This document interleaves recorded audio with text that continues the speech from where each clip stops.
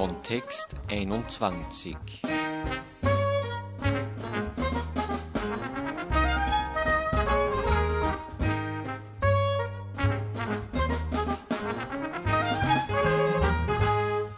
Die Logik der Vernichtung, Moische Poston über den Antisemitismus, zweiter Teil. Im ersten Teil dieser Sendung haben wir das Referat von Moische Poston wiedergegeben, das er am 17. Juli in der Berliner Humboldt-Universität zu Nationalsozialismus und Antisemitismus gehalten hat. In der heutigen Sendung dokumentieren wir in leicht gekürzter Form die Diskussion, die sich an diesem Vortrag angeschlossen hat und in der Poston mit einigen jener Kritiken konfrontiert wurde, die in den letzten zehn Jahren in Bezug auf seine Argumentation entwickelt wurden. Zunächst wurden die Fragen am Podium von Barbara Fried und Gerhard Wolf von der Initiative Kritische Geschichtspolitik gestellt.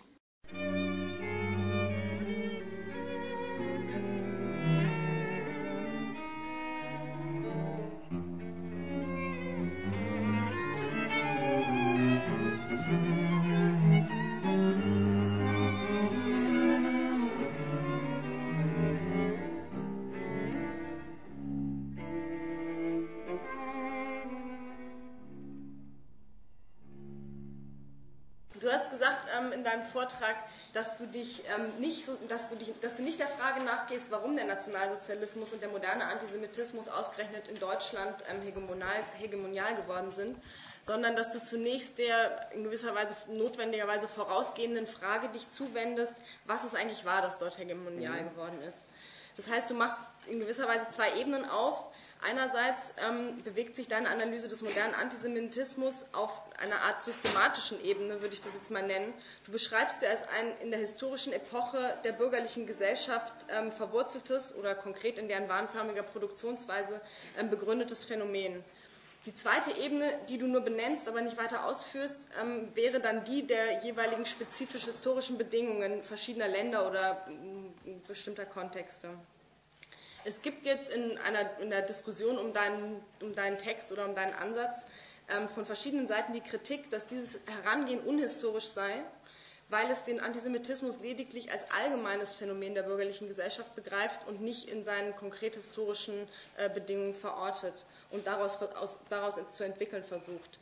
Ich ähm, nenne jetzt an der Stelle einfach mal exemplarisch Enderwitz. Der formuliert beispielsweise, also Ulrich Enderwitz, ähm, der formuliert beispielsweise, dass du darauf verzichtest, ich zitiere jetzt, die Phänomene als historische zu entwickeln, weil du, Zitat weiter, beim interessierenden Phänomen zwischen Wesensgehalt und historischen Bedingungen unterscheidest.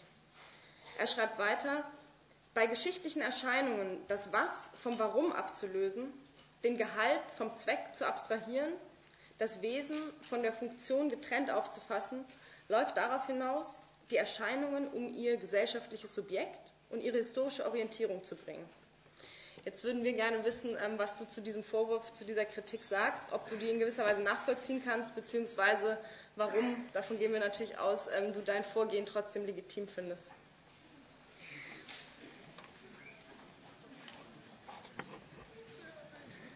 Ich kann auf verschiedene Weise äh, antworten. Aber zunächst, es gibt einen Grund, warum ich, hab, ich mit Hobsbawm angefangen habe.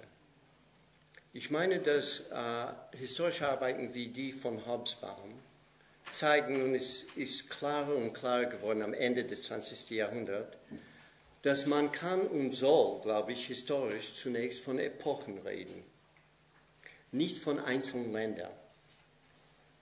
Ja, ich habe gesagt, danke. Gut, ich freue mich, dass ich so viele Zustimmung gefunden habe. Vor allem so schnell. Ähm, ich habe versucht zu argumentieren, dass der Antisemitismus in der Holocaust eingemündet hat, ist eine Epochenerscheinung, die von 1873 ungefähr bis 40er Jahren. Das ist ein Teil dieser Epoche kapitalistische Entwicklung. Die erste Frage, um es dann weiter zu spezifizieren, wäre nicht, warum in Deutschland, weil, das ist nie, weil es ist nicht besonders in Deutschland, es ist warum nicht in Holland und England und warum in Frankreich, Deutschland, Russland und so weiter. Und deshalb ich habe mich auf Staat bezogen. Das ist einmal. Zweitens, was ich begründet habe in, in bürgerlicher Gesellschaft, ist die Bedingung der Möglichkeit, Kapitalismus als abstrakt zu verstehen. Zu Antisemitismus gibt es einen weiteren Schritt. Das heißt, es ist dann diese Abstraktheit zusammen mit Juden zu verstehen und zu, das heißt, die Juden zu verantwortlich zu machen für diese gesellschaftlichen Veränderungen. Für mich ähm, diese, Gegen, diese Gegensatz, die, mindestens wenn ich diese, diese, diese Kritik richtig verstanden habe, stellt eine, ähm, eine abstrakte Gegensatz dar zwischen System und Geschichte, während ich versuche zu sagen, dass gerade diese Epochendenken zeigt, dass man muss Geschichte selber mehr systematisch begreifen. Weil das heißt, wenn man nur von Agenten redet, dann gibt es keine bedeutsamvolle, sagt man, meaningful, sinnvolle äh, geschichtliche Einteilung. Diese, diese sogenannten Phasen von liberaler Kapitalismus bis zu sta staatszentrierter Kapitalismus oder ab 1973 die Auflösung der staatkapitalistischen Synthese hängen nicht von einzelnen Ländern ab. Sie hängen nicht von der Politik von Helmut Schmidt oder Jimmy Carter ab. Die sind allgemeine Phänomene. Das heißt, es gibt empirische Phänomene, die nur systematisch erklären werden können. Und wenn man, wenn man diese Systematik einfach abtun als Strukturalismus, dann irgendwie, es gibt eine sehr wichtige Ebene von geschichtlichem Verständnis, die ausgeklammert wird.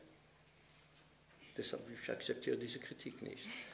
Äh, das ist einmal. Zu zweitens, wenn ich richtig gehört habe, am Ende ist die Rede gewesen von Zweck und Funktion. Ich habe versucht, gerade eine nicht funktionalistische Erklärung zu geben. Das heißt, äh, ich habe versucht, materialistisch einen eine Kulturbegriff zu entwickeln. Die, äh, und man erklärt nicht für mich Bewegungen nur aus ihrer Funktion.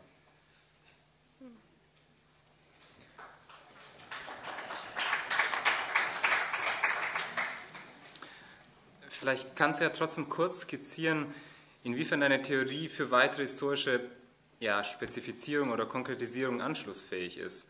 Also äh, wie würdest du dir das denn vorstellen jetzt? Wie würdest du dir einen solchen Anschluss an die historischen Bedingungen in Deutschland vorstellen?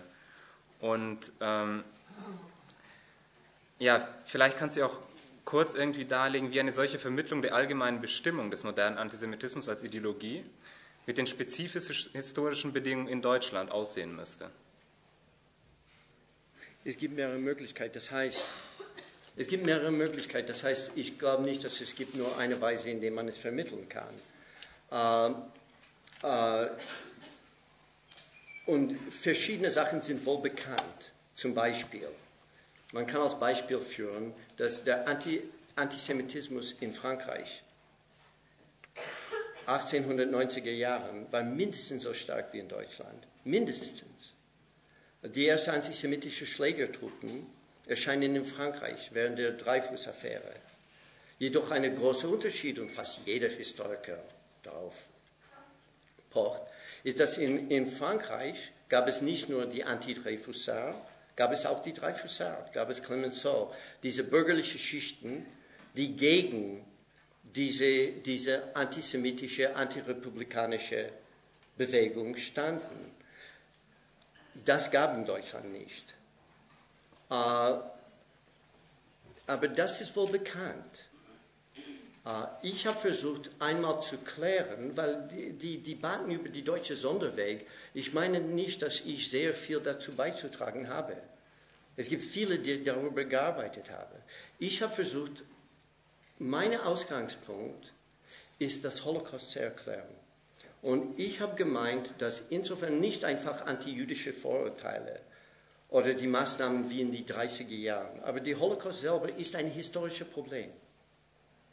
Und daraus habe ich versucht, andere Aspekte von Nationalsozialismus ähm, zu beleuchten. Nur dann kann man die Frage stellen, wieso ist das dann so gewesen, mehr in Deutschland als in anderen Ländern. Aber man muss diese, diese, diese Was wissen, was man versucht zu erklären. Kannst du vielleicht noch äh, ein Wort zur, äh, also das klingt ganz kurz an in deinem Text, äh, ein Wort zu der Rolle des Staates sagen? Also der Rolle des Staates zum Beispiel bei der Durchsetzung des Kapitalismus in Deutschland und auch zu der Rolle des Staates als Sachwalter, ja, widersprüchliche Interessen und als ja, letztliche Instanz, die den auch versucht hat, den Klassenkampf in diesem Land zu suspendieren. Es ist nicht, dass ich sehr viel dazu zu sagen habe. Ich, ich habe nur, ich, ich, ich wollte nur darauf aufmerksam machen, dass in der sogenannten alte kapitalistischen Länder, das heißt äh, Holland und England, Antisemitismus, das heißt im Gegensatz zu antijüdischen Vorurteilen, Antisemitismus spielt keine wichtige Rolle. In Frankreich sehr wichtig. In Deutschland sehr wichtig. Österreich sehr wichtig. Russland sehr wichtig. Was alle diese Länder gemeinsam haben, ist, dass im 19. Jahrhundert de, uh, des Kapitals ist durch den Staat viel mehr organisiert als in England oder Holland. Und ich, ich wollte nur suggerieren und mehr nicht, dass das ermöglicht vielmehr eine Denkform, dass was passierte, ist mysteriös weil man kann es nicht erklären einfach durch Staatspolitik. Das heißt, es ist etwas hinter Staatspolitik und deshalb es erscheint einfach ungreifbar. Ich würde trotzdem gerne noch mal kurz was nachfragen jetzt zu dem, zu dem Antisemitismus und dieser, also sozusagen dieser Zwei-Ebenen-Trennung Antisemitismus versus ähm, historische Spezifizierung. Weil man, ähm, man könnte ja auch argumentieren, dass eben der deutsche Antisemitismus sich auch als Antisemitismus von anderen Ländern, also von dem Antisemitismus anderer Länder unterscheidet oder zumindest gibt es Ansätze, die das behaupten. Und wenn ich dich jetzt richtig verstanden habe, dann würdest du das ja als eine Art Konkretisierung sehen. Also man versucht zuerst auf einer systematischen Ebene ähm, einen äh, allgemeinen Begriff von ähm, modernem Antisemitismus zu entwickeln und dann zu gucken, wie der in bestimmten historischen Kontexten eben äh, durch welche Bedingungen wie welche Ausprägungen erfährt. Und ähm, jetzt würde würd, würd ich dich noch fragen, ob du nicht dann auch davon aus oder ob man nicht irgendwie auch davon ausgehen müsste, dass vielleicht auch die Qualität des Antisemitismus, also jetzt in Anschluss an Goldhagen, der ihn als exterminatorischen fasst, im, im Gegensatz zu anderen Ländern, dass, ob, ob nicht einfach auch da ähm, schon eine Spezifizierung vielleicht nötig wäre. Das glaube ich nicht. Und ich meine, dass, äh, äh, soweit ich mich erinnere, äh, Goldhagen zum Beispiel hat nie Deutschland und Frankreich verglichen aber in den äh, 90er Jahren des 19. Jahrhunderts kann man lesen sehr viele Ausrottungsfantasien in Frankreich. Sehr viele. Ähm, das heißt, Goldhagen das behauptet, aber er zeigt es nicht komparativ. Ja, ich finde es nicht. Ich finde, dass dieser exterminatorische Antisemitismus ist ein europäisches Phänomen gewesen. Man sieht es dann während des Zweiten Weltkriegs. Es sind nicht nur die Deutschen, die das machen. Naja, aber hauptsächlich. Ja, sie haben es organisiert. Das ist Teil der neuen europäischen Ordnung. Nee, ich bin, ich bin mit Gold, äh, ich finde Goldhagen eigentlich, äh, insofern als er es nur auf Deutschland bezieht, ist das in einer gewissen Weise nicht historisch. Du gibst den Vorwurf also weiter. Hm, warum nicht? Aber der andere habe ich auch gesagt, ist nicht historisch. Ich würde gerne noch einen anderen Aspekt aufgreifen, auf den können wir nachher zurückkommen. Und zwar er schließt in gewisser Weise an, und zwar geht es auch, also geht es mir jetzt da nochmal um, auch um Strukturalismus oder auch Determinismusproblem, aber auf einer ein bisschen anderen Ebene, und zwar auf die Gefahr eines ähm, Strukturdeterminismus in Bezug auf die handelnden Subjekte. Also das war jetzt sozusagen eher so ein deterministisches Ver Verständnis von ähm, Geschichte und Antisemitismus, und ich würde jetzt gerne nochmal versuchen, auf diese Subjektebene zurückzukommen. Ähm, und zwar, Entschuldigung, und zwar hast du in deinem Vortrag gesagt, ähm, dass du es für absolut notwendig hältst, ähm, zu unterscheiden zwischen Ideologie als allgemeinem Denksystem ähm, und auf der anderen Seite individueller Intention und Motivation handelnder, handelnder Subjekte. Und das finde ich einerseits sozusagen bietet es die Möglichkeit, dieses Verhältnis eben als nicht deterministisches oder nicht vorgegebenes zu denken. Und dennoch ähm, habe ich den Eindruck, dass bei solchen Überlegungen die Gefahr, wenn man versucht, gesellschaftstheoretische Überlegungen auf ähm, handelnde Subjekte quasi, ich sage jetzt mal blöd runterzubrechen, ähm, dass da doch eine große Gefahr ähm, sozusagen so einer Determiniertheit drinsteckt. Und jetzt würde ich, ähm, ja, da würde ich mich würde ich einfach fragen, wie du das siehst oder wie du denkst, dass, dass diese Vermittlung stattfinden müsste, weil damit ja auch ähm, die Gefahr einer, also ein bisschen die Entlastung individueller Verantwortung einhergeht. Also wenn, ja, eh klar. Und ähm, ja, ich fände es ganz gut, wenn du darauf eingehst. Also es gibt auch Leute, die sagen, dass bei dir der Antisemitismus als quasi notwendig falsches Bewusstsein erscheint. Und ähm, ob du dazu irgendwie vielleicht kurz was sagen kannst, wie du dir diese Vermittlung vorstellst. Aber das sind, äh, glaube ich, mehrere Sachen äh, in eine, in eine Frage gestellt. Ähm,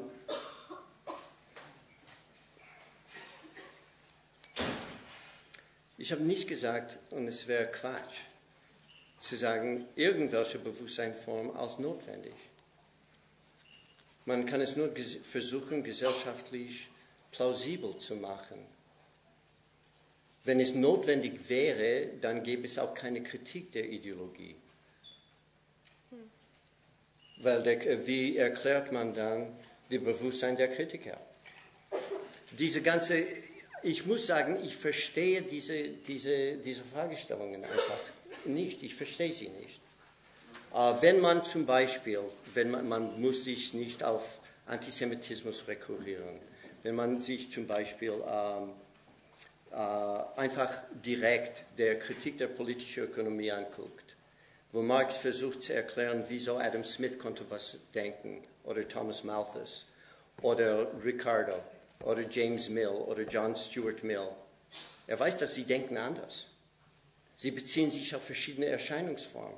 Er auch nie sagt, dass sie mussten so denken. Die Erscheinungsform ist notwendig, aber nicht das Bewusstseinsform. Er erklärt das Bewusstseinsform als gesellschaftlich Möglichkeit, nicht als Notwendigkeit.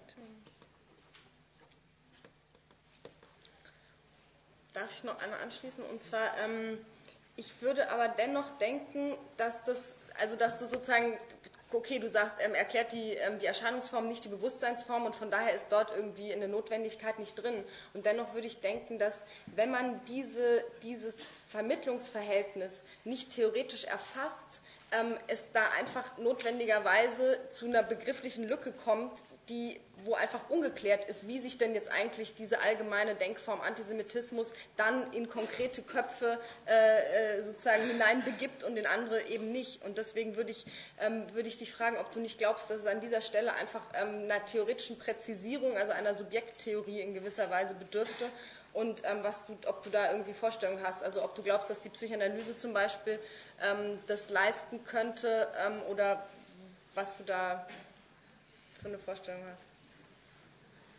Es gab mehrere Versuche. Ich glaube, der gelungene, gelungenste ist Adorno äh, in seinen Aufsätzen über Soziologie und Psychologie, wo er versucht hat, psychoanalytische Kategorien und Gesellschaftskategorien zu vermitteln, auch zu argumentieren, dass man darf die zwei nicht als unmittelbar gleichsetzen. Äh, und er versucht auch unter anderem zu erklären, psychisch bezüglich gesellschaftlicher Entwicklung, wie es dazu kommen könnte, dass man eine faschistische Massenbewegung hat. Ja? Aber das erklärt immer noch, man hat immer noch eine Lücke, weil man, weil man erklärt nicht, wieso nicht alle sind so. Es wird eine Lücke geben, es muss eine Lücke geben. Na gut, ich meine, dass man sozusagen keine allgemeine Theorie für alle Menschen haben kann, das ist eh klar. Aber ich glaube, man bräuchte sozusagen theoretische Begriffe, mit denen man das potenziell erklären könnte. Darauf wollte ich hinaus. Ja. Ja, ich finde, dass, ich finde der, der Adorn, äh, adornitische Ansatz äh, sehr aufschlussreich. Äh, ich finde auch, dass wie er Psychoanalyse historisch bestimmt hat, sehr um, kann ich auf Deutsch sagen? It's an extremely, it's an extremely sophisticated, complex. Uh, Verstehe jeder. Ich würde auch gerne noch mal ein bisschen in die Richtung weitergehen und zwar so ein bisschen ähm, diesem Verhältnis nachgehen zwischen allgemeinen gesellschaftlichen Verhältnissen beziehungsweise durch, der durch Sie hervorgebrachten Denkformen also von Marx zum Beispiel als objektive Gedankenformen bezeichnet, und diesem jahrhundertealten antijüdischen Stereotypen. Also konkret und besser gesagt um die Verbindung dieser beiden Momente zum äh, modernen Antisemitismus. Du schreibst, oder du hast eben vorgetragen, der Antisemitismus sei eine besonders gefährliche Form des Fetischs. Äh, bei Marx äh, bezieht sich jetzt der Begriff des Fetischs zunächst auf die Grundformen kapitalistischer Vergesellschaftung. Wie würdest du jetzt äh, das kategoriale Verhältnis, äh, also zwischen dem, was Marx als äh, objektive Gedankenform fasst und dem Antisemitismus begreifen. Bewegt sich das auf einer Ebene? Ist das, ja, bewegt sich das auf einer Ebene? Also Ideologie auf der einen Seite als jetzt konkret Antisemitismus und sozusagen objektive Gedankenform auf der anderen Seite? Nein, eben nicht, weil äh, der Begriff der objektive Gedanke ist, dass äh, er redet von äh, politischer Ökonomie, die das eigentliche Kategorien des Kapitalismus ähm, erfasst hat, aber sie als überhistorisch verstanden hat. Der Antisemitismus erfasst die eigentlichen Kategorien gar nicht. Es ist auf eine ganz andere Ebene.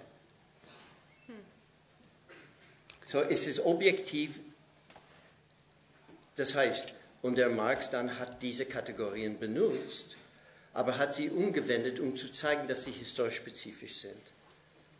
Ja, während Adam Smith, für Adam Smith und solche Leute, sie sind überhistorisch. Aber die Kategorien wie zum Beispiel Wert, Gebrauchswert, die sind objektiv, meinte Marx. Das heißt, sie sind zutreffend für Kapitalismus. Antisemitismus ist nicht.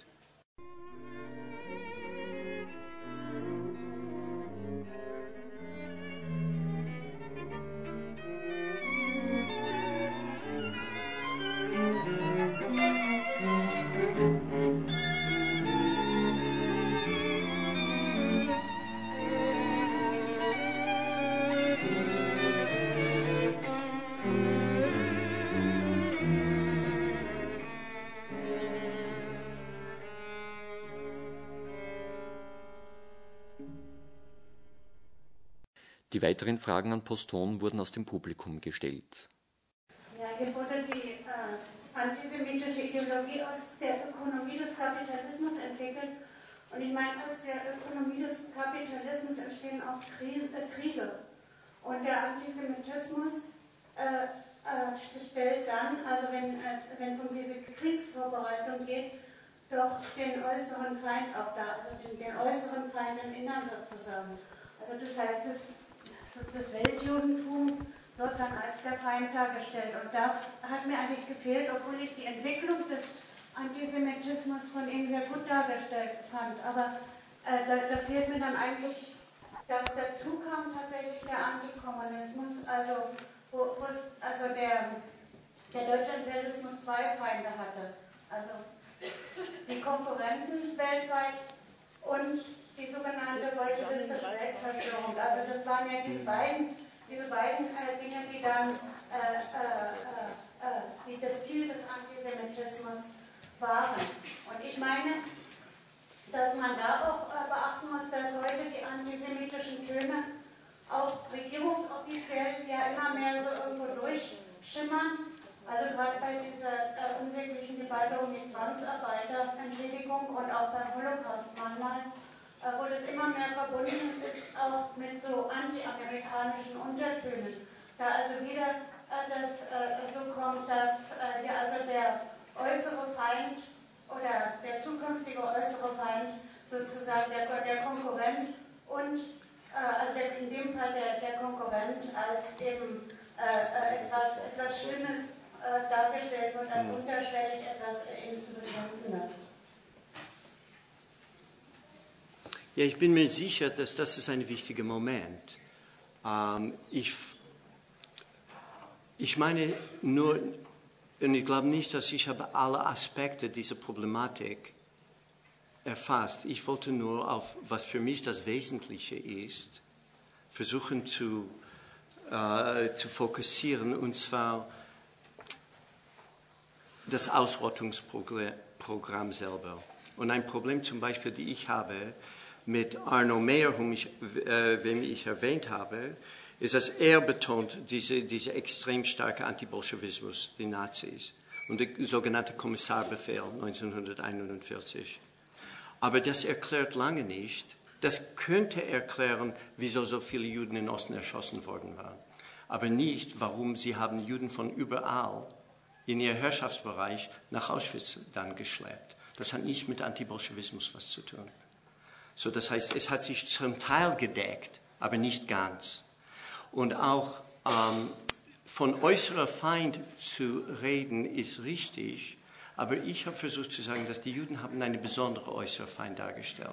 Und wenn man Nazi-Plakaten aus dem Zweiten Weltkrieg anguckt, man sieht zum Beispiel Bilder wie, man hat uh, John Bull, England, auf der einen Seite, der wie ein Bankier gekleidet ist, und irgendwelche bolschewistische, uh, untermenschlich aussehende Kommissar auf der anderen Seite. Und hinter beide steht eine, eine Jude mit Marionetten, uh, wie sagt man, Strings, um, Fäden. Fäden in seine Hände, weil er ist nicht einfach eine konkrete Feind, aber wirklich ist eine Weltordnungsfeind.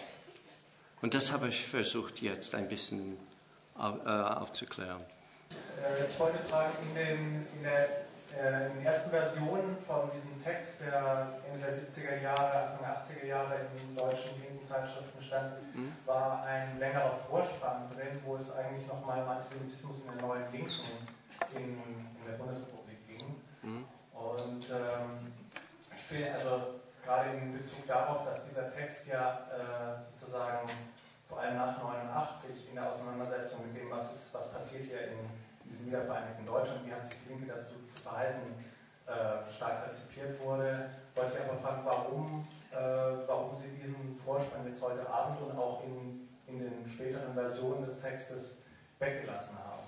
Weil es, ähm, das wäre ja eigentlich ein spannendes Thema, zumal ja sozusagen das, wo vielleicht die neue Linke als Enttabuisierer in den 70er Jahren eine Avantgarde-Funktion hatten, äh, eben heute in den gesellschaftlichen Mainstream einsickert. Aber äh, interessanterweise eben diese, der, der prominenteste antisemitische Ausfall von Martin Walser ja auch von jemandem kommt, der mal diesem linken Milieu entstammte. Eigentlich. Ähm, ich habe vorgetragen die erste Hälfte der Papier, diese Papier. Äh, die zweite Hälfte geht um, wo ich habe versucht, diesen Kapitalbegriff mit die ganze Frage von äh, Geschichte und Erinnerung zusammenzubringen. Und dort in diese zweite Hälfte bin ich dann auf die, auch auf die Geschichte der deutschen Neue Linke gegangen. Äh, und die, die Weise, in dem, äh, und ich finde es kompliziert, aber die Weise, in dem einmal die, ähm, ich habe versucht zu zeigen oder mindestens zu suggerieren, wie diese Nachkriegszeit verstanden werden kann als eine vorwärtsgerichtete auf die Oberfläche, wo eine unaufgearbeitete Vergangenheit immer diese, diese, diese Gegenwart neu bestimmt. Hinter die Rücken die Handelnden. Und ich habe versucht, eine Art von äh, Symptomologie zu schreiben. Und ein Teil dieser Symptome für mich war einmal, wie die deutschen Rechten Deutschland als Opfer immer bezeichnen. Aber wie die deutschen Linken haben sich immer mit Opfer identifiziert. und die Auswirkung dieser starke Identifikation mit den Opfern nach 67. Das heißt, wie die deutsche Neue Linken, die sehr, sehr pro-israelisch waren bis der Krieg, wie es umgedreht hat. Nicht, dass Israel soll nicht kritisiert werden. Und was ist sehr schwierig, darüber zu reden, ist, dass ich weiß, es gibt rechte israelische Politiker, die immer jede Kritik an Israel als antisemitisch abtun. Aber ich habe versucht zu argumentieren, dass wenn man bestimmte Formen von Antizionismus der 70er Jahre anguckt, haben sie sehr, sehr starke antisemitische äh, Übertöne. Weil der Zionismus ist nicht einfach kritisiert als ein schlechtes Programm oder sowas. Es wird wirklich zu das Böse und das Weltverschwörende. Ähm, und ich meine, dass das hat auch, sagen wir, oder ich habe suggeriert, dass das hat die, dass in eine komische Weise ähm, der Antifaschismus der neuen Linken hat sich, in, hat sich kolonisieren lassen durch antisemitische Bilder im Laufe der 70er Jahre, durch dem eine Art von Versöhnung mit der nationalen ähm, Community, der Boden dort ähm, gelegt worden ist. So ist es nicht, dass ähm, ich habe dieses Thema ganz weggelassen. Ich konnte es jetzt nicht vortragen. Das heißt, oder ich konnte eine Fidel Castro-Rede geben und für drei Stunden was vortragen. Aber das war, weil ich habe versucht, wirklich dann diese alle drei Epochen von, von äh, Hobsbawm in diese, in diese Papier irgendwie ähm, zu thematisieren. Ich weiß, das ist nur eine Teilantwort auf, was du gesagt hast, aber. Ich habe eine Frage zu dem Vortrag und zwar zu dem Verhältnis äh, des modernen Antisemitismus zu dem äh, traditionellen Antisemitismus. Äh, der moderne Antisemitismus äh, wurde von ihm charakterisiert durch äh, die Personifizierung äh, eines Abstrakten, das als Abstraktes sozusagen hinter den konkreten Erscheinungen, die man unter denen man leidet, unter denen die man äh, weghaben möchte, die man abschaffen möchte, äh, existiert, dieses Abstrakte. Äh, ist nicht äh, der traditionelle, hat nicht der traditionelle Antisemitismus, also der Antijudaismus der europäischen christlichen Zivilisation, äh, zumindest eine ähnliche Struktur schon. Insofern, als äh, die Juden nicht auch da nicht nur eine ganz konkrete Gruppe innerhalb der existierenden Gesellschaft oder, äh, oder Fürstentum sind, sondern sie auch das äh, ganz andere, der, sozusagen den Antichristen in gewissem Sinne darstellen, von dem abhängt, auch ob das zum Beispiel in der christlichen Ideologie, ob das Heil auf Erden kommt, ob Jesus Christus wiederkommt, ob der Christus, der, der Messias kommt oder nicht kommt und insofern sie auch äh, sozusagen eine ganz umfassende, äh, äh, ein ganz umfassender Feind sind, der auch nicht, zu lokal, nicht äh, identisch ist mit der Erscheinungsform der Juden hier in, in, äh, in dieser oder jener Gemeinde oder in diesem jeden Land.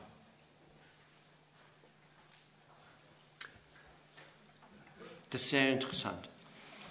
Doch, und ich muss darüber mehr nachdenken, weil ich wollte, bevor Sie haben dann die zweite Hälfte ausgeführt, ich wollte sagen, dass ein eine Unterschied, gut, Juden waren mit Geld verbunden und auf eine gewisse, in diese gewisse Weise mit Abstraktheit. Und eigentlich die Gegenüberstellung, die typisch christliche Gegenüberstellung von jüdischem Gesetz und christlicher Liebe ist auf einer Ebene auch ein Gegensatz zwischen was mehr abstrakt ist und mehr konkret. Und das stimmt. Dann wollte ich aber sagen, dass man hat nicht aber diese, diese Begriffe, dass das ganze Welt von Juden beherrscht werden. Äh, jetzt, ich muss ein bisschen nachdenken, weil, äh, wie du es reingebracht hast, mit der Frage von, von, von Christus, dann ist es auch doch welthistorische Bedeutung. Und ich musste, daran habe ich ehrlich gesagt nicht gedacht. Ähm, ich habe eine Frage zum Verhältnis von Antisemitismus und Rassismus. Wie läuft Ihre Argumentation ein, wenn Sie sich tatsächlich auf den Judenhass beschränken? Dann finde ich die Argumentation mit dem Hass auf das Abstrakte äh, sehr überzeugend. Mhm. Wenn man aber äh, empirisch etwas genauer hinguckt, gibt es meiner Meinung nach mindestens zwei Vernichtungsprogramme, die mit ähnlicher Systematik durchgeführt wurden äh, wie der Holocaust, die meiner Meinung nach nur rassistisch zu erklären sind. Einerseits nach innen als ein organischer Rassismus und nach außen als sozusagen Art fremde Rassen. Äh, ist einerseits das Vernichtungsprogramm gegen sogenannte Geisteskranke, das bloß gestoppt wurde aufgrund der Intervention der katholischen Kirche. Und nach außen mit der gleichen Systematik wie gegen Juden auch Sinti Roma äh, vernichtet wurde. Und äh, da leuchtet mir die Argumentation äh, mit den marxischen Begriffen nicht mehr ein. Was die Geisteskranken angeht, eines ist gemeinsam und eines ist unterschiedlich. Was gemeinsam ist, ist diese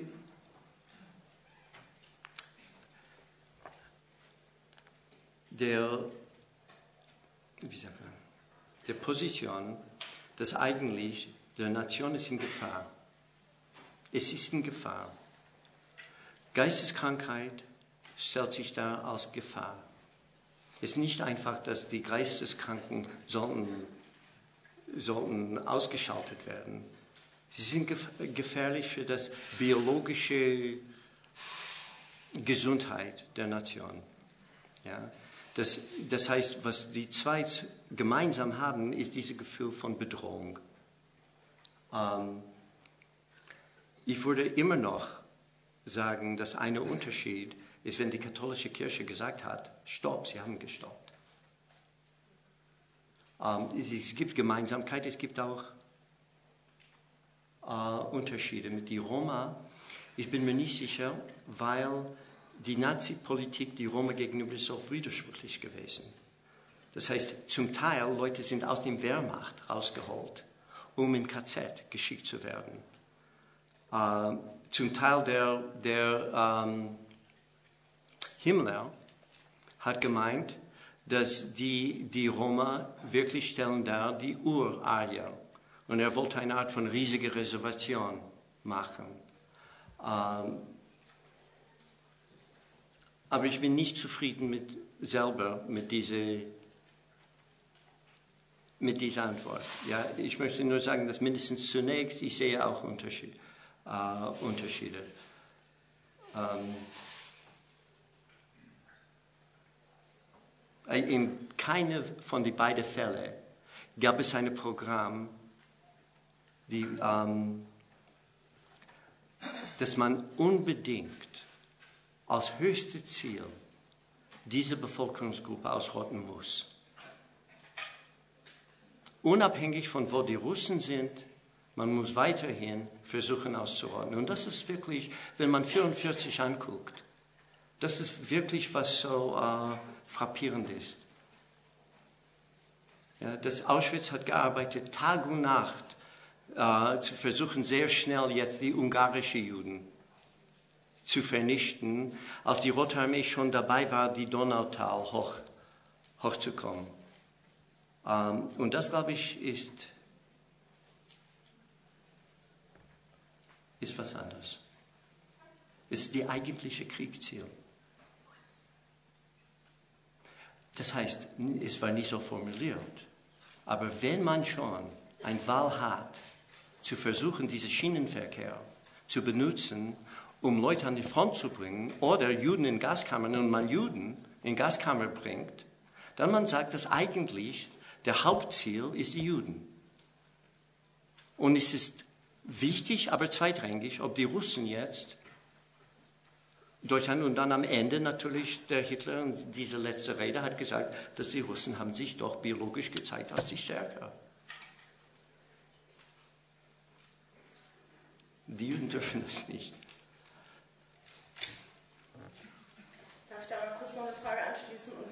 In dem Text, der dann, also zumindest hier in Deutschland so kursiert, ähm, da schreibst du, dass der Unterschied zwischen der Macht äh, der Juden und ähm, der Macht, die sozusagen anderen von Rassismus betroffenen äh, Bevölkerungsgruppierungen zugeschrieben wird, ähm, systematisch eine andere ist, weil die Macht der Juden eben immer als die größere überhöhende, hinter den Kulissen äh, sozusagen wirkende ist, währenddessen die Macht ähm, der beispielsweise von Rassismus verfolgten, der Schwarzen, eben keine abstrakte ist, sondern eine konkrete. Doch.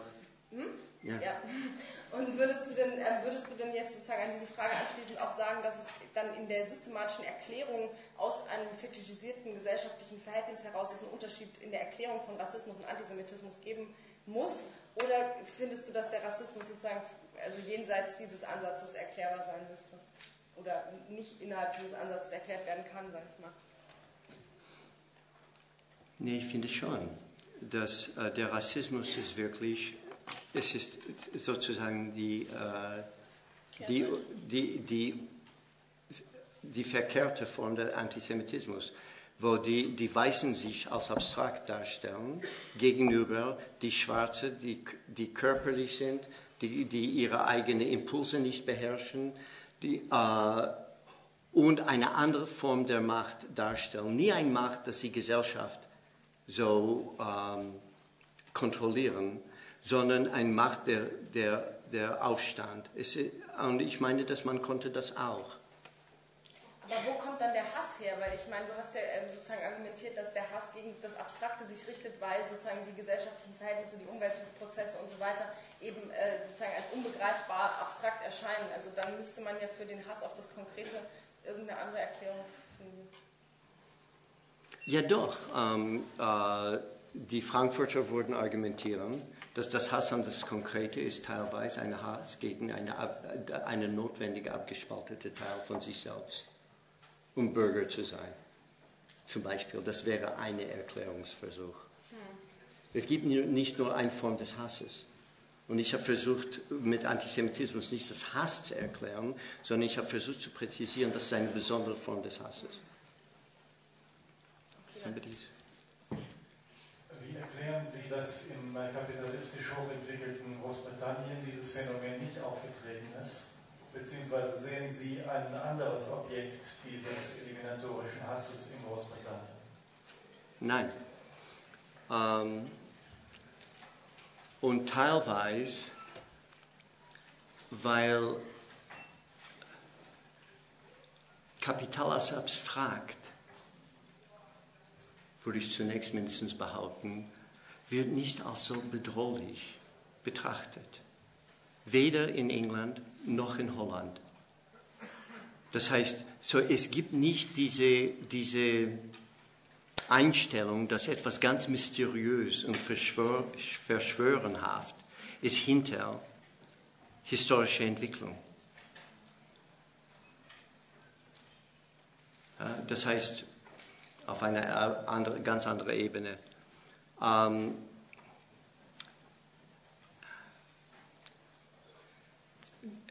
Unterschied zwischen Newton und Descartes. Action at a distance is thinkable in England, whereas power is always thought of as concrete on the continent. So that abstract power becomes much more mysterious.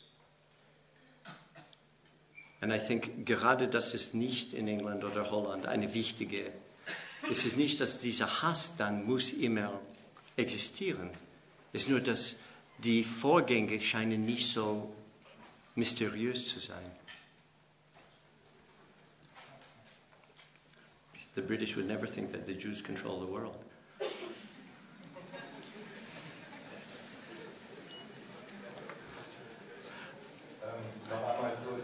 Rassismus. Ähm, ich halte diese Gegenüberstellung von Antisemitismus äh, und Rassismus äh, schon für, für falsch eigentlich ähm, und denke, dass der moderne Antisemitismus sich gerade dadurch vom traditionellen unterschieden hat, dass er eben rassistisch war. Und ähm, ja, das kommt mir bei Ihnen einfach auch in dieser Gegenüberstellung, äh, ich würde ja sagen, es ist ein Bestandteil. Der Rassismus ist ein notwendiger Bestandteil des, äh, des Antisemitismus, der zum Holocaust geführt hat? Wahrscheinlich sind wir einverstanden. Ich habe versucht, es gibt einen Unterschied. Beide sind biologistisch, das ist klar. Aber eine ist nach oben gerichtet, der andere nach unten. Und ich habe versucht, nur diese Unterscheidung zu machen.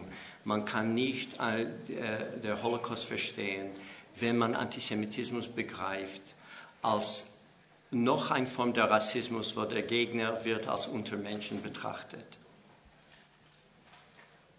Sie sind viel mehr gefährlich als Untermenschen. Und das ist zum Beispiel Nazi-Politik Polen und Russen gegenüber. Das heißt, dass man, man tötet die Intelligenz und man benutzt die anderen als Sklaven. So, gut, es ist biologistisch, aber ich habe versucht, nur diesen anderen Teil wirklich zu betonen.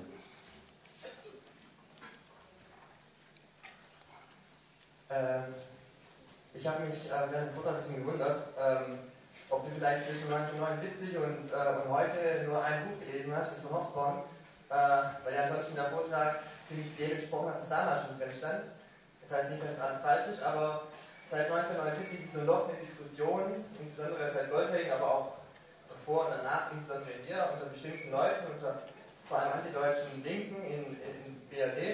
Äh, und da wundert mich, dass du dann einfach sagst, ja, ich habe keine Ahnung über die französische Entwicklung und äh, dass die Affäre Dreyfus äh, einfach sich äh, 1896 bis 1900 ungefähr anders entwickelt hat. Es gab ja, es gab ja quasi einen, einen Sieg der Republik, äh, was, was jetzt nach Unterschied ist. Und da würde ich gerne wissen, was hat sich dann deiner Ansicht nach eben nicht grundsätzlich anderes in Frankreich oder in anderen äh, kapitalistischen Zentren entwickelt. Und es ist ein Freispruch für all diejenigen, vor allem auch hier im Saal befindlichen marxistischen äh, Linken, die immer noch glücklich sind, dass es eben nicht gegen das deutsche Volk geht, dass, dass Leute glücklich waren, dass Juden umgebracht wurden, sondern du behauptest wiederum, wie das seit Jahrzehnten der Fall ist, äh, es war eine Angst oder was auch immer da, eine diffuse Angst vor dem Weltkapital, vor dem zirkulierenden Kapital, was auch immer. Und da behaupte ich, das war eben nicht nur, wenn überhaupt, eine Angst, es war nicht nur das abgespaltene Ich äh, von Horkheimer Adorno, sondern es war ein bewusster Wille, ein Glücklichsein darüber, dass Juden umgebracht werden. Und das wird nicht ernst genommen, das wird nicht mal diskutiert. Und bei den Arisierungen kann man nicht sagen, die hatten Angst. Was hatten die bitte schon Angst? Die waren glücklich, die sind weg, wir haben einen Hausschnappen oder ein Kleidungsstück, ähm, das ist nicht so einfach. Und das mit der Angst ist ja, immer so Fokus. Ich glaube, Angst Gut. hat auch keiner gesagt. Nee, oder? dann es gibt nichts zu erklären. Du hast recht. Wenn man so denkt, gibt es nichts zu erklären. Es ist alles klar. Die Deutschen sind Schweine.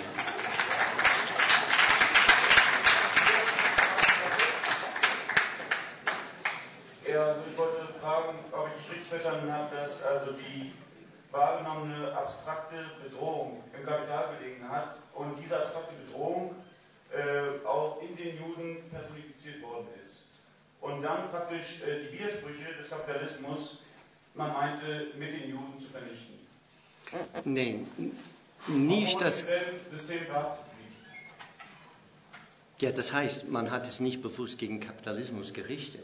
Nein. Ja. Also nicht Aber man meint trotzdem, die Widersprüche, die de facto bestanden, mit den Juden zu vernichten nicht nur die Widersprüche, sondern die, ähm, die Kräfte, die hinter diese, für die Antisemiten, dieser ungeheuerliche geschichtliche Prozess.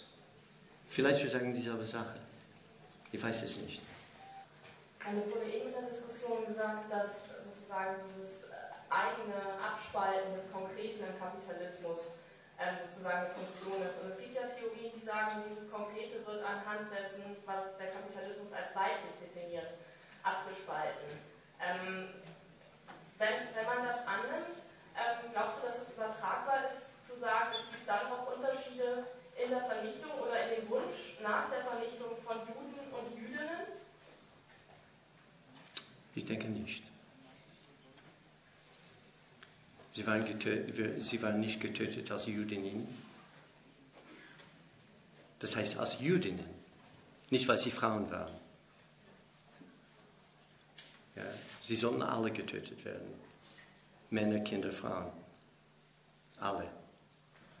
Wenn man sagt, dass ähm, das als weiblich definierte Abgespaltene dann ja. wiederum auf Frauen projiziert wird, ja. dann müsste die Juden ja eigentlich auch als das Konkrete gelten, also was ja im Kapitalismus auch auf bestimmte Weise dann eben unterdrückt oder wie auch immer wird. Also steht dieses Konkretsein der Juden nicht irgendwie ihrer ähm, Identifikation mit dem Abstrakten entgegen? Oder das ist Paranoia von den Leuten, die wieder zu erklären.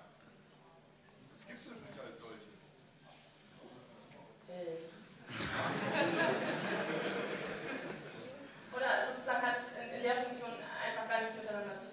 Also dieses einerseits konkret identifiziert sein, andererseits mit diesem abstrakten in sich identifiziert sein. Offensichtlich diese Abspaltung nicht stark genug war in dieser Hinsicht, dass Frauen wurden betrachtet als eine ganz andere Kategorie. Ich möchte nochmal anknüpfen an so einen Gedankengang, der vorhin hier. Da habe ich mich auch mal gefragt. Also du beschreibst Auschwitz, eigentlich relativ zutreffend. Dann fiel mir irgendwas ein, dass das erste Genozid, das mir bekannt ist, nicht deutsch ist, dem stimme ich auch zu, sondern so ein ähnliches Phänomen findest du auch in der Türkei. Das heißt, der Genozid von armenischer Bevölkerung, in dem, in dem so ein Modernisierungsprozess ja stattfand, das war zeitlich davor, das ist das erste Mal, dass die gesamte Bevölkerung beseitigt worden ist. Ja, und da habe ich mich auch gefragt, wie weit greift dein Erklärungsansatz auf solche Dinge? Wie weit ist das sozusagen geerbt? Das ist ja nachweislich etwas von Hitler registriert und übernommen ist. Der hat sich auch mal darauf bezogen. Und ähm, kann man das in deinem, in deinem Ansatz mit einbinden? Geht das? Erklärt es mit, was da abgelaufen ist? Das heißt, dass Bevölkerungsgruppen nach einer ethnischen Zugehörigkeit abtransportiert worden sind, in die Wüste geschickt worden sind, verdurstet sind. So, das sind sozusagen, das ist ein Phänomen, was dort passiert ist. Und zwar von Leuten, die modernisieren wollten.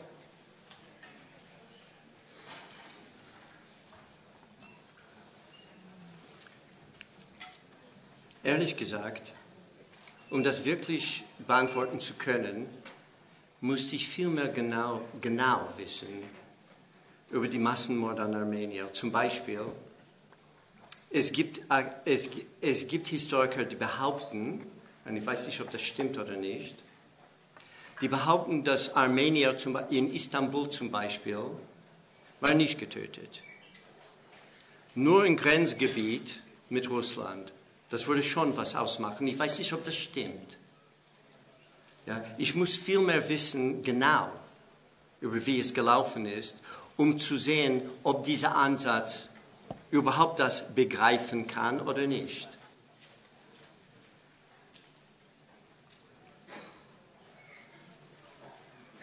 Ich habe nochmal eine Frage zu dem Thema, was vorhin auch schon angesprochen worden ist, nämlich dass sie unterscheiden zwischen Entwicklungen in Deutschland, Frankreich einerseits, Holland und Großbritannien auf der anderen Seite. Mhm. Ähm, und vielleicht haben Sie das schon gesagt, ich habe es einfach noch nicht richtig verstanden. Ähm, wenn Sie einerseits sagen, zur Erklärung des modernen Antisemitismus bedarf es vor allem einer materialistischen Erkenntnistheorie. Wenn Sie also diesen Ansatz oder diesen Ansatz zugrunde legen, würde ich noch mal gerne genauer wissen, was jetzt die Unterschiede in ähm, England und Holland gewesen sind.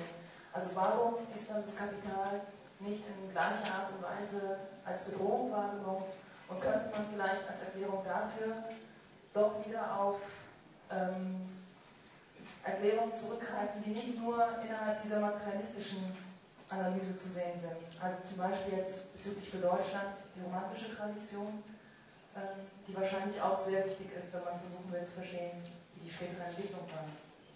Also ist es jetzt ungefähr klar geworden, was ich meine vielleicht? Ja. Ähm, die, romantische, die romantische Tradition erklärt Russland und Frankreich nicht. Ja, es, gibt eine, es gibt eine, man kann es nicht nur auf Deutschland beziehen. Aber der Unterschied zwischen England und Holland ist sehr klar. Und ein Unterschied ist, das sind Länder, die kapitalistisch waren seit dem 17. Jahrhundert. Ja. Und die, die, das heißt, Industrialisierung passierte innerhalb schon ein total durchkapitalisiertes Land. Das heißt, das Umgang mit Kapital ist eine andere gewesen historisch. Ich kann mir nicht vorstellen, dass, dass dieser historische Unterschied zwischen England, Holland auf der einen Seite, Frankreich Deutschland und so weiter auf der anderen Seite belanglos sei. Ja, weil es auch, es ist gerade diese Länder, die sehr früh kapitalistisch waren, wo Antisemitismus, das heißt in diesem Form, keine große Rolle gespielt hat.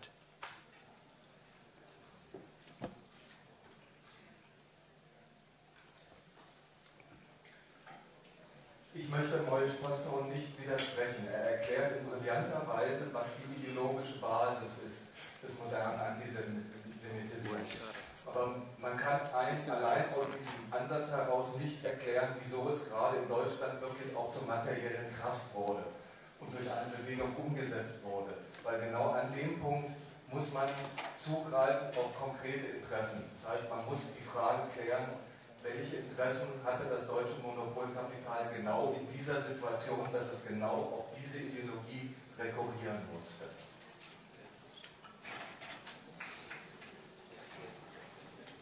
Entsteht das im Widerspruch zu, was ich gesagt habe? Aber ich meine, es ist nicht nur eine Frage, obwohl ich, ich stimme dir überein, es ist auch eine Frage von Interessen. Aber das konkrete Ebene kann nicht nur auf der Ebene des äh, die Interesse erklärt werden. Zum Beispiel, Ideologie spielt weiterhin eine Rolle. Der, der wichtigste Geldgeber für die Nazis in den 20er Jahren ist Henry Ford. Ja, ist keine deutsche Großkapital, ist Henry Ford. Henry Ford, der hat seine eigenen antisemitische Bücher geschrieben. Ich glaube nicht, dass Ford besondere wirtschaftliche Interesse hatte, die Nazis zu fördern, aber er hat sie gefördert und zwar auch aus ideologischen Gründen. Der andere große Geldgeber ist der Dedering gewesen. Er hat andere Interessen. Er ist der Shell Oil Mann gewesen. Und die Bolschewisten haben natürlich alle seine, seine Ölquellen in Baku beschlagnahmt. Und er hat ein großes Interesse, eine antibolschewistische Bewegung hochzubringen in Deutschland. Äh, natürlich gibt es Interessen, äh, aber die Interessen sind auch verschieden. Und in Fords Fall, sie waren auch ideologisch getrieben. Aber auch es gibt die andere Frage, jetzt unabhängig von den Interessen.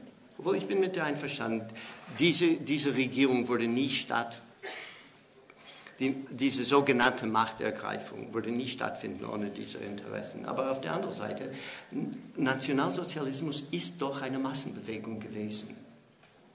Und man muss das auch erkennen, das ist eine Massenbewegung.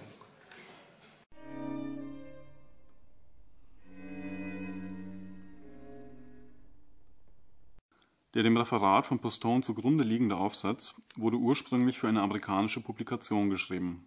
Auf Deutsch ist er in leicht abgeänderten und gekürzten Versionen erschienen. Er findet sich unter anderem in dem Buch Küsst den Boden der Freiheit – Texte der Neuen Linken, das von der Redaktion Diskus in der Edition Ideearchiv herausgegeben wurde.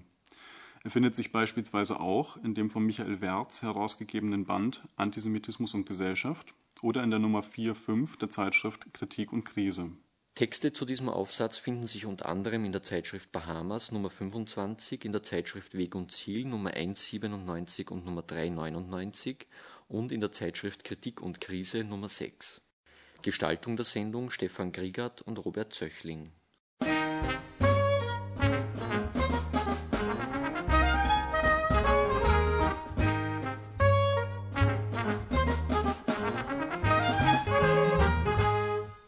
Probeabo der Zeitschrift Kontext 21, die nächsten drei Ausgaben kostenlos, unverbindlich und ohne automatische Verlängerung, kann an folgender Adresse bestellt werden: Kontext 21, Schottengasse 3a-1-4-59 A 1010 Wien.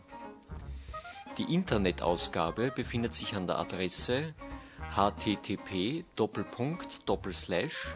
kontext21.mediaweb.at. Es ist jeweils die lateinische Schreibweise zu beachten, also Kontext mit C und 21 als XXI.